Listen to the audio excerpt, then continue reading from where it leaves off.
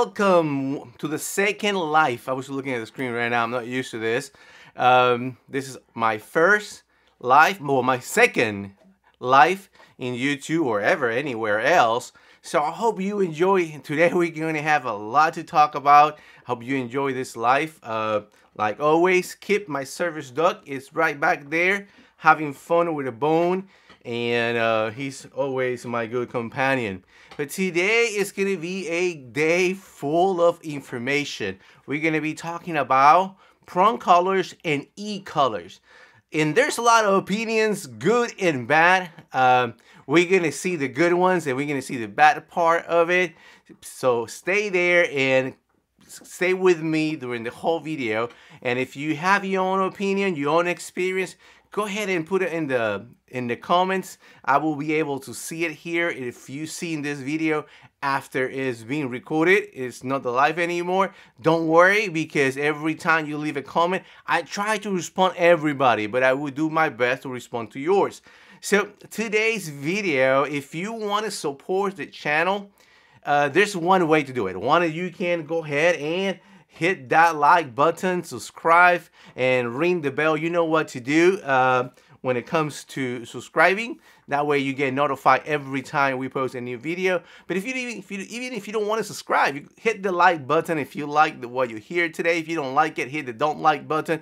Anyway, be part, being in, take action in the when by doing anything because it helps the channel to grow and help me to make more of these videos. One other way you can support this channel is by supporting my family. How can you support my family? Well, easy. If you look at Kip, he has a beautiful bandana on and uh, that bandana is um, actually done, created by my wife. I don't know what he's looking down for down there. Maybe, oh, look at that. Uh, he got a weight. Uh, those weights we used to work, work out uh, with here sometimes in my office. So he's trying to destroy one. So let me take that out of his mouth. It's not a toy. Come on, buddy. It's not a toy. So take that away from him before he turn it into a new toy. Um, coming back to how you can support the channel simple. Um, like i said subscribing is one way and that bandana that kip has on belongs to my wife. Well don't belongs to kip but it was made by my wife's company Life for Pawz Life for Pawz in uh, etsy. It's an etsy store that she have i will leave the link in the notes so if you just by clicking the link and go check out what you have, if you don't want to buy anything, you don't have to. But yes, the action of going there and look at what she's offering is gonna help her to grow in Etsy and if you help my family to grow, then you're helping this channel to grow too, because that way we I can continue to do more videos. Heads up, uh, for Valentine's Days, Uh, she's gonna have this. She haven't published it yet. I think I helped help her today to take the pictures, and um, so she's gonna for next week. She's gonna have this uh, really nice uh, baskets for Valentine's Day. She have a lot of surprise coming up in the next week or so. Uh, you can actually don't tell anybody that I told you this, but next week uh, she's gonna come out with personalization, so you can put your own your name or your dog's name on the bandana, or if it's a gift, uh, whoever you're giving it to. I think it's gonna be a great surpri- surprise. So go to the show notes, click that link, go check out her store. If you like something, buy it because that way you support the channel. But let's go back to what we're here for. We're here to talk about prong collars and e-collars. I use both of them. Okay, I do like them, and some people don't like it. I actually want to say thank you to one of my viewer.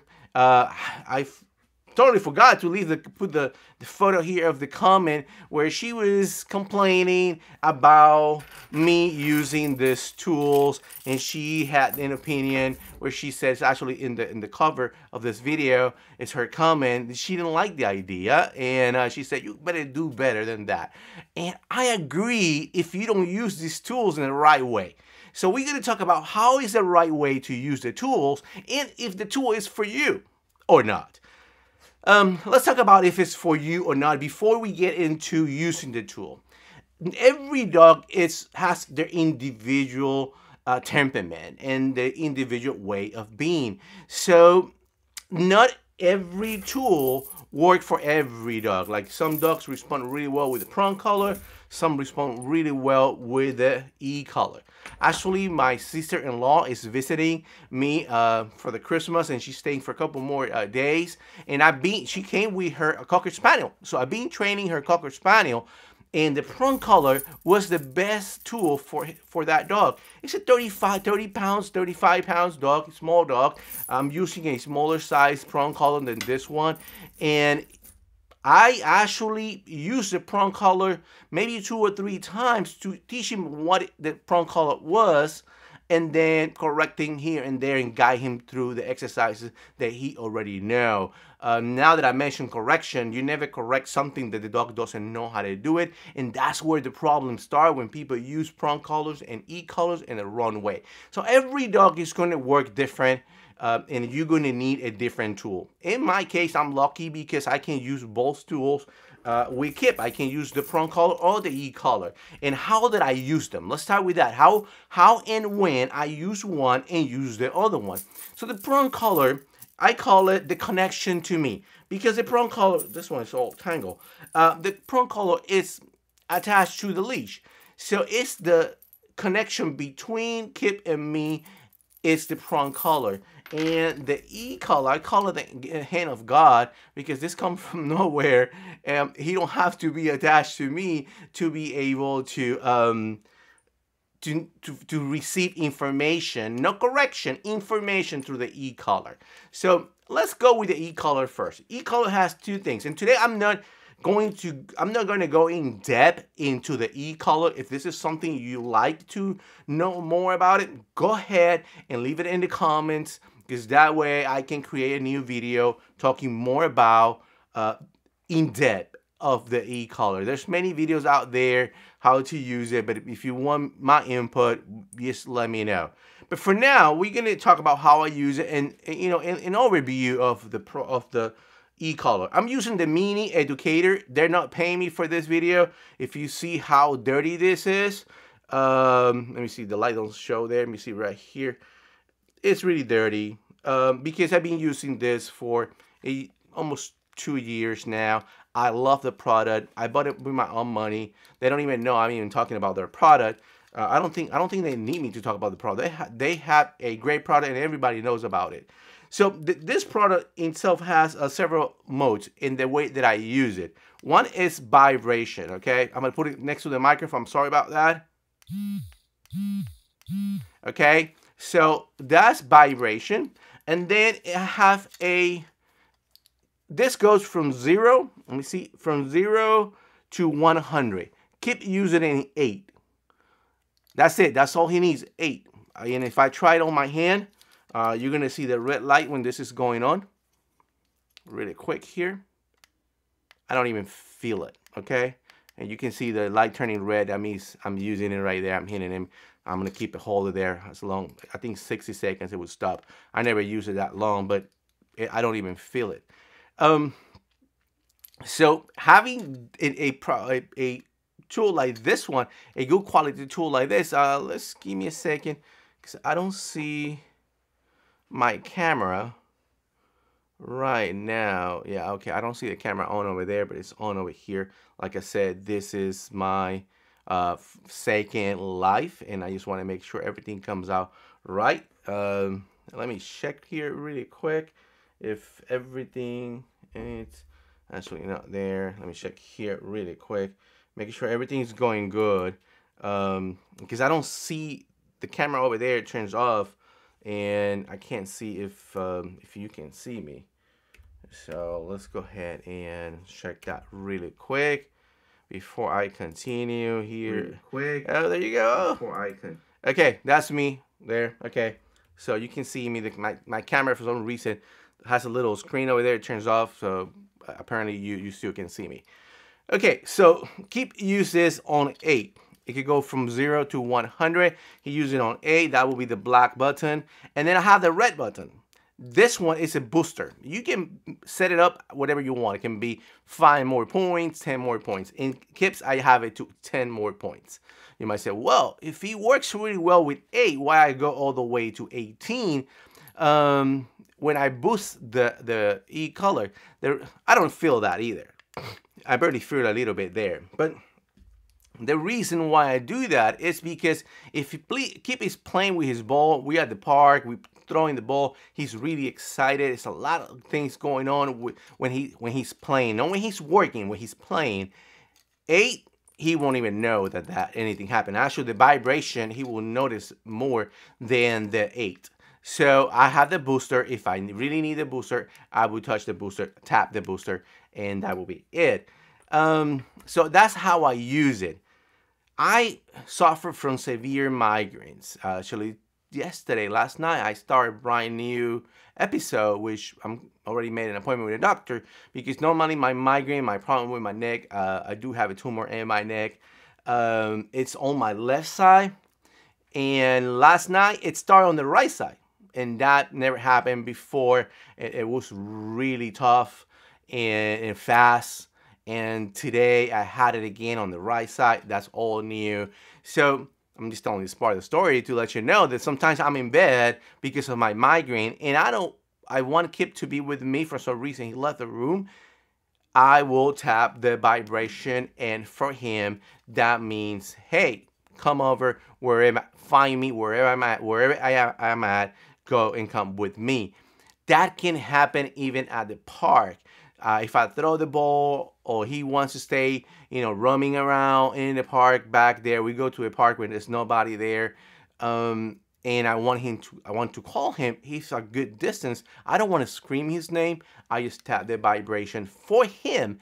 That communicate him, tell him, hey, I want you to come with me. That is communication. That's why I use the e collar the most. It's for that far away communication if I'm training something where we are far away, uh, maybe I want him to down, and again, we are at the park. I want him to down, and I want to go, and he knows that he's doing something wrong, and he's going to go back to down.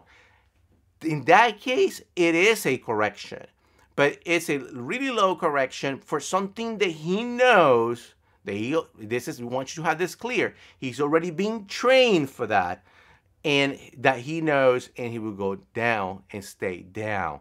Otherwise, I will have to walk all the way there, say no, correct, and put him down again and come far away. So this, like I said, is the hand of God. It allowed me to reach him and communicate what I want from a distance. Let's go back to training. Everything can be trained with the e-collar or the prong collar but yes, there's a group of people that believe that dogs should be trained only with positive reinforcement. And yes, dogs should be teach everything they don't know how to do with positive reinforcement. When I teach Kip how to sit, positive reinforcement. When I teach him how to down, positive reinforcement. But after he knows how to do it, and he decide not to do it, and then I can correct him. And there's one thing in between um, positive reinforcement and correction, and that's escape and avoidance. Escape and avoidance is like leash pressure. Um, this is all tangled. Um, let me see if I can untangle this. Okay, there we go. So escape and avoidance, it means you pull, he's pulling to, to we walking straight, he wants to go in front of me. And this is what I did actually with my sister-in-law, uh, Cocker Spaniel. That was one of the problems. He, he wants to run, be uh, walking right in front of her. Because he's 35 pounds, that that's okay. You know, 35 pounds, you can hold the dog and stop the dog. 85 pounds German Shepherd decide he wants to go, and you go with him. Especially if you have one of those, uh, I see that a lot with big dogs wearing a vest. I mean, not the best, a uh, harness. I mean, if an 85 pounds dog wants to go with a harness, I he will go.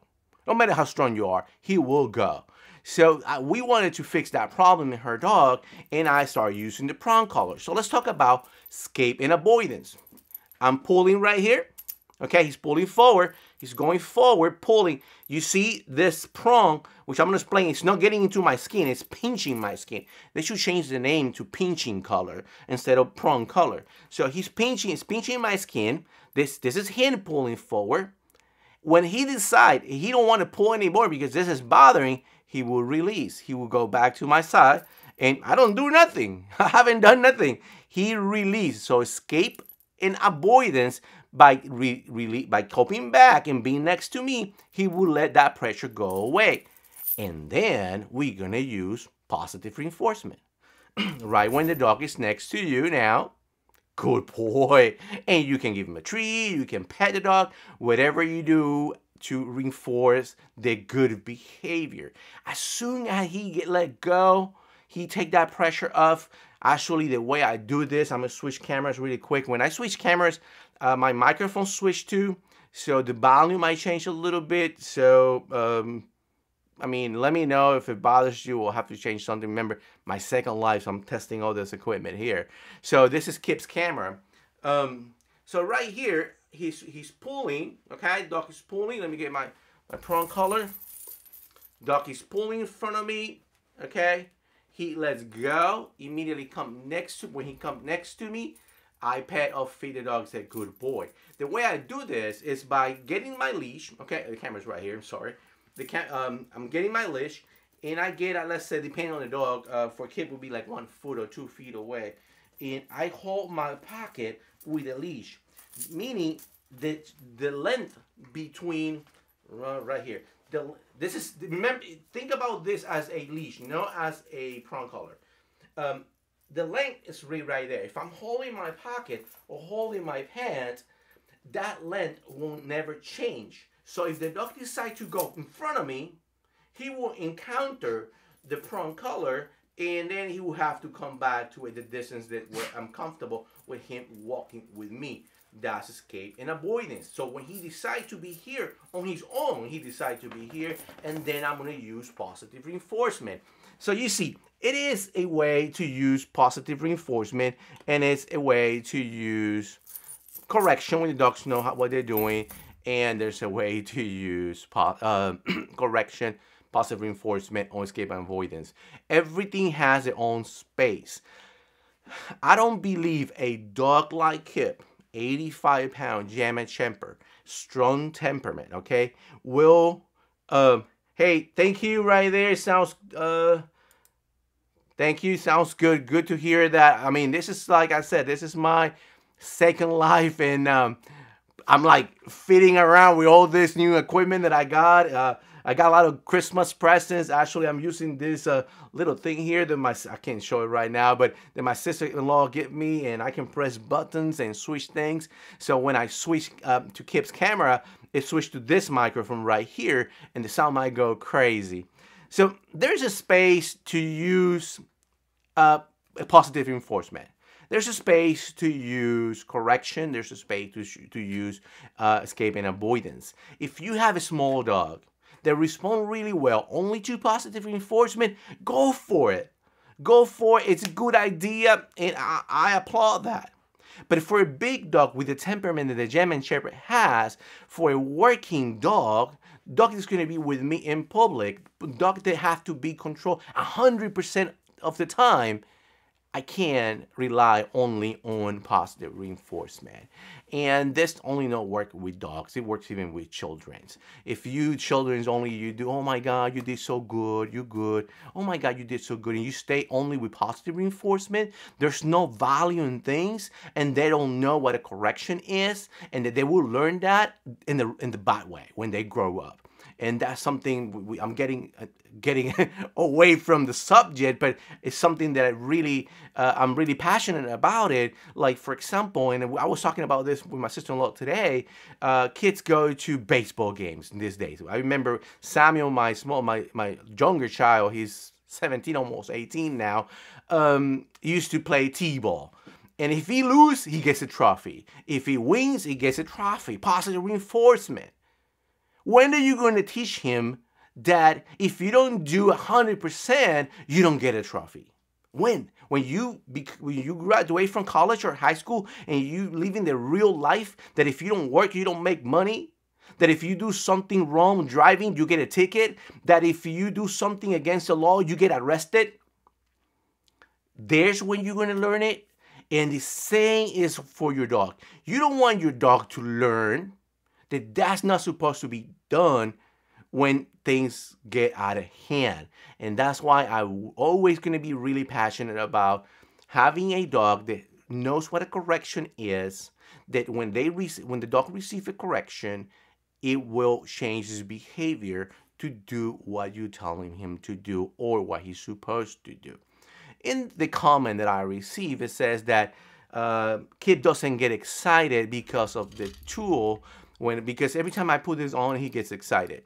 That she was saying that he doesn't get excited because of the tool, because he get excited because of what's coming, and you are hundred percent right. Uh, he's not. He don't even know what the tool means. He knows when the tool is on him. He's gonna play. He's gonna train. He's gonna be with me. He's gonna be working. He's gonna be having fun. So it's not a bad thing he, he knows this doesn't mean a bad thing. It means that he has to do what he has to do, but he's going to have fun anyway. Because it's a difference between correction and treating a animal the wrong way. And that's where this tool has the bad fame, is that people think, oh, you get a e-collar and you correct every problem with your dog. You just have to hit that button and hit it until the dog stop doing what he's doing. No, that's, not that's not how it works. Uh, I can, you can tell a kid, a child, to um, throw the trash in the trash can if you haven't teach him where the trash can is at, or and how to take that trash and put him in there. If you haven't teach the behavior, you can't correct it. And if you put this on a child and you start hitting the child, he don't know what you're trying to say. If and, and, and that's a child that you can talk to, right? Um, and you hitting this doesn't mean that he shouldn't know the trash goes in the trash can. No, it hurts or it bothers me. In this case, don't really hurt. It just bothers because it's, it's a little, uh, a little like pinch you feel. Uh, if you don't have one and you have a friend, just try it on yourself. Um, that's why I, I love this brand. I tried other ones cheaper that you can get in stores, local stores, and they're like $60. And uh, when you press it, oh my god it's really hard. I mean it goes from one to five or one to six. Imagine that. I mean it's from one to three that have to be like a lot of power there. So it, it, you can feel it and, and, i will never use one of those brands. This one goes from 0 to 108 and i can control 8 9 10 and um, so that makes it a good tool. So he knows your dog needs to know first that what this means what you expecting from him when when you use this and what the vibration means and what each thing means and what's expected to do at that moment. And when that's established with positive reinforcement and then you can use this type of communication and then from there if it's necessary you can use this communication to let him know that what he's doing is wrong, and that's called correction. So those are the three ways that basically you can use the prong collar, the E collar. Again, for me, and I don't want to go too deep or too long in this video. Um, if we can talk about it individually, how I train with it, um, I want my dog to know this is me directly again if I need to tap on it or if he's trying to move away from me. In my case, Kip doesn't do that anymore. Like he wear the he's he don't need this, but he, he wears it all the time that we are out and he would never leave my side. But if by any chance a something happened, I don't know why because it hasn't happened yet.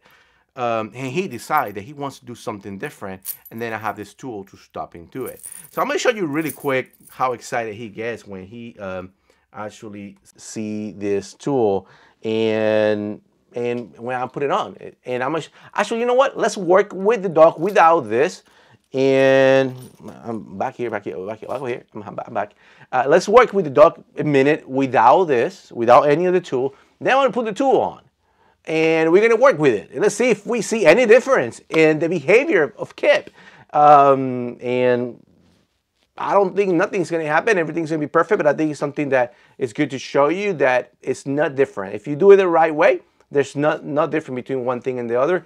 And then I'm gonna, we're going to talk a little. Actually, we already covered a little bit about the wrong way to do it. Is if the dog doesn't know and you start using these tools, that's the wrong way. Um, this is more like leash pressure it, with the same thing that you do with regular collar, where you pull uh, you can do leash pressure with the E collar where you actually, I'm gonna go really quick on this because this is not a training video, but if you, um, right here, hold this button and you pulling and whenever he give, you let go, just exactly like a lead pressure and let go. Let's say he's here, this is the leash, you pulling, you pulling, you pulling, he, he let go, you let go. Same thing. He's right here, you pulling, you pulling, you pulling, he gives, you let go. You see, that's leash pressure. This can be used as a leash pressure uh, tool, just like anything else. And you can build from there. This is not a training video, but I wanted to show you that's how actually uh, one of the things that you can do that we haven't talked about it. The same thing happened with this, escaping avoidance. You, you know, you're pulling and he gives and the pressure goes away. So now let's go and work a little bit with Kip. Kip, let's go. Um, right now, Kip had no tools on him. Over here, let me see, come over here. Up here. What are you doing? Okay, up here. Up here. There you go. So now we working here, and you see he's um, next to me. Up here. Uh, back. Okay, there's no tools. I mean, they're on my table right there. I move forward, move back. Okay, move this way. Move back, back. Good. Couché. So responding perfectly. I see. Good boy. Sue. Nice. Good boy. That a good boy. Okay, that's positive reinforcement. Good boy. Um, I don't know how to do go back. I, I, can't do that. Uh, but uh, I wish I could. But good boy, he knows that he knows I'm. That's a good thing, right? Let's go. Come on. Okay, it's back. Nice, good boy. So this voice for him means, you know, I'm doing good. This is positive reinforcement right there. Uh, freak, free. Good boy. So now we uh, right here, so come back to me. Um, now I'm going to go ahead and pull the tools on him. I'm going to put the E-collar on him. And let's see his reaction when he see the E-collar. I was looking at the screen again. This whole thing is being confusing for me. I'm learning everything. Okay, so here we go. And let me show him the tool. Ooh, soup. Oh, good boy. Good boy. Okay. Again, he's a remote, so I'm holding by the antenna. Actually, I'm gonna put it on my table. Let's go. Ah, uh, come. So on my table, so I'm not using it. Soup. And why I'm doing this, leaving it on the table, is because sometimes is the dog has received a um, how would I say? I don't know how to say this in English, but if the dog is knows something bad is going to happen because he has the e collar on, and then um, he just by putting it on, he would like be scared and start behaving different. So let's see what he's doing now. Okay.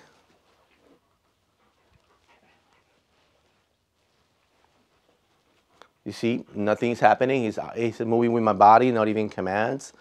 Um, right here. Okay. Out. Let's go. Up here. Good boy. And we're going to the side. Up here. There you go. Good boy. Good boy. Free. Uh, that's with that tool. Let's switch to, let's add another one. Let's add mo two more tool. Another one. Soup. Same thing. Uh, this position is not for everybody. For me, it's perfect. I love it because it's more comfortable uh, here having him there for two reasons. Actually, my first life, I talk about this because I don't people I don't like people petting him. Um, so I would have him there, but you see to put the collars on and everything, it's uh, a lot more comfortable. Uh, prong collar should be all the way up there. We can talk in another video if you want to learn how to use the prong collar. Free. Keep coming. Soup. Good boy. Back. Let's go. Good boy. Ah, where are you? What? Sue? Good. No, no. Sue? Sue? Good. Good boy. Couché. Good boy. I see. Good. Au pied. Good boy. Free. Okay, so and I'm not gonna take the whole training day right there, but the idea is that I mean he don't see any different between at least I don't see any different between training with the tools or training without the tools at this point of this stage of uh, his career as a service dog. He knows what he's doing. I'm, I don't have to use the tools as a something bad. It's just another tool. And like everything, knives in my kitchen. I had this really nice knife set um, because I like cooking. They're big and really, really sharp. I can actually slice tomatoes like really thin. It's with no effort. And they're tools. If you use one of those tools in the wrong way, it can do harm. It can actually harm myself, cutting my fingers off um, and you can cause harm. It can become a weapon because it's used in the wrong way. That tool, a car can become a weapon, and it, but it's a great tool to go to work. So every tool, if you use it the wrong way, or most of the tools, if you use it, the wrong way, they can become harmful. Um, great. Hey, whenever you want. Actually, um, uh, I'm creating a another YouTube channel where I talk a little bit about creating your own business online, and part of it is going to be how to set up like this. Uh, to be honest, I'm a photographer for like 25 years, and but there's little things here and there that are new for me, and I like technology but I'm still learning a couple of the things. It's not only learning, I think it's more getting used to it, getting too used to the paying attention to the camera, to what I have to say, and what I have to press. And that will be a subject for another day. But thank you. And if you need any help, uh, go ahead and leave it in the comments, and I can actually send you my email and uh, anything that I can share with you. I'll be glad to do it. Actually, that's what we're here for, right? To help each other. So finishing and closing today, again, every tool can be used because I don't want these videos to go longer than 30 minutes. And we are seven, I mean, like seven minutes away from there. Actually, no, we're past by two minutes already. So let's close it here. Um, so every tool can be used the wrong way. These tools, if you want to learn a little bit more about it, let me know in the comments. I can create new videos with a answering specific questions, or we can do a whole live uh, on the e-collar, how I use it. I can uh, do a video outside and show you step by step uh, things that I do. I won't be pressing the buttons um, when I teach how to do it because if he hasn't do nothing wrong, I can't be pressing these buttons. Uh, right now, he's just sliding down back there. I could press the vibration and he will come to me, but it don't make any sense because he's right there. Um, and even him will might get confused because he will like, I'm in front of you. Why are you calling me? Um, if it's far away from me, definitely I would do it. It will, it will come. So if you want to learn a little bit more about it, let me know, and I will definitely share that info, uh, some information, create these videos for you, uh, teaching how to use, how to train with these tools. I hope you like this video. Uh, actually, I might miss something. If I did, you can ask questions in the comments again. And don't forget to subscribe. Um, and ring that bell, click the like button, comment, do everything. In the show notes, it's going to be the link address to my wife's uh, Etsy store where you can get beautiful bandanas and a bunch of stuff. Don't forget to do that. Do that to that. is one way to support the channel. And I will see you the next time. I hope I'm getting better at doing this. I'm getting used to um, I'm getting used to a couple things. First is feel comfortable in front of the camera, right? And at the same time, doing all these things around me and working with Kip and switching cameras and, and making sure the microphones are working all at the same time. Uh, I think that's the most, the biggest part, getting all that together. So thank you, thank you, thank you. Uh, love you guys, and I'll see you the next time. So. I hope you have a great rest of the week, and I will see you in two weeks. Oh, one more thing before you guys go. Uh, two things. First, I'm doing every other Monday at 6, and I don't have a name for the show. So I need a name for the show. So I need you to put it in the comments. And I need to make sure Mondays at 6, every other week, is good for you. Uh, thank you, Peggy. Peggy's my wife right there. Make sure you check her store. Um, and I love you guys. See you the next time and take care. I'll see you in two weeks. Take care.